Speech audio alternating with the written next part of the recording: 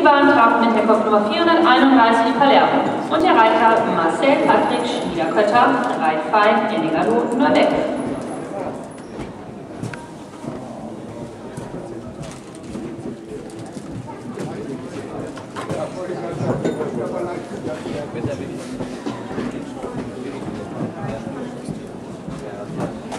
Hallo.